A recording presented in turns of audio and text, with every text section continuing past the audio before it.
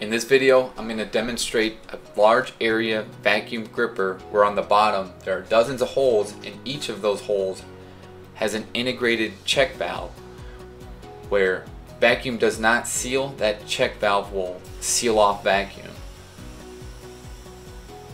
You'll see half of the pad is off the cardboard box there. That's where those check valves are going to seal.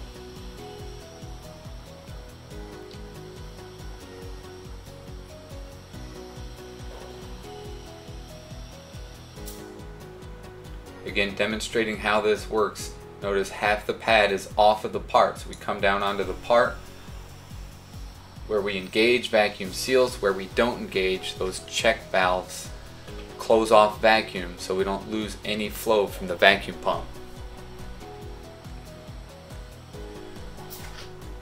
The large area vacuum grippers we're using for your application are going to be much longer and we're going to have six of them on a spreader beam.